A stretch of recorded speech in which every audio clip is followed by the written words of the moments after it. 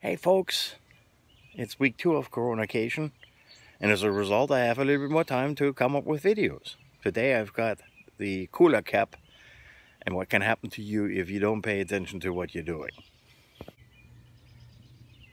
Alright, there's the cooling system and the cap I'm talking about.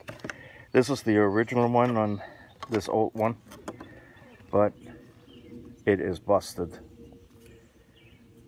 So that's not good.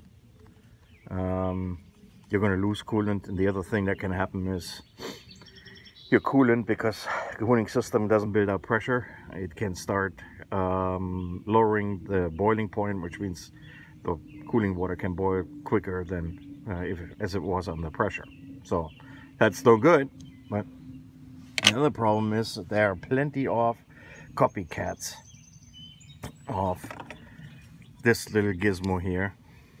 This says Mercedes-Benz. I hope to God it is. I'm not so sure.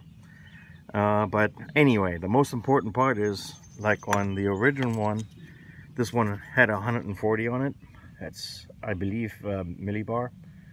So that's the, the pressure setting of the spring. If you don't pay attention or you buy a really cheap one, you build up too much pressure. This one here uh, again, says 140.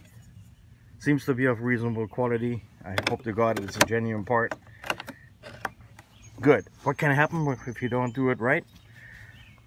On these old plastic bare coolers, uh, after 30 years, that plastic gets pretty brittle. And if you get a, a cooler cap that has too much of a high pressure on it, they start leaking right there or I had one where it the plastic split right open up here or down at the bottom.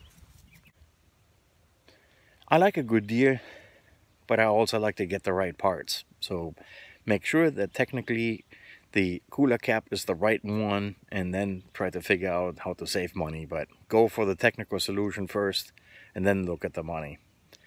If you like the videos, give me a good thumbs up and subscribe. That's the red band, the um, gray band symbol. And watch my uh, YouTube channel and give me a shout out. And of course, I'm always looking forward for good ideas of what to cover next. One of the next series is going to be the uh, seat controls and memory seats, power seats, and the like. Take care.